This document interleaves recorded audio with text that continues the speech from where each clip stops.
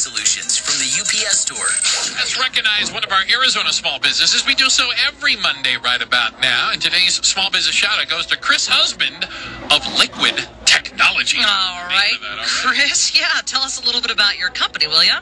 We are a landscape water conservation company established to conserve water for homeowner associations, condos, apartment complex, commercial properties, sports complex, parks, basically anyone who uses water for their landscape. We provide landscape water assessment and audits to determine where the property has been, where they are at today, and what is possible to take the right steps. Communities on average overwater their properties between 20 and 60 percent, which is not physically or re- environmentally responsible, especially when we live here in the desert and, of course, we're in our drought. Yeah, no kidding. So that sounds pretty cool. Uh, so how, how do you go about doing this, and uh, how can people get in touch with you?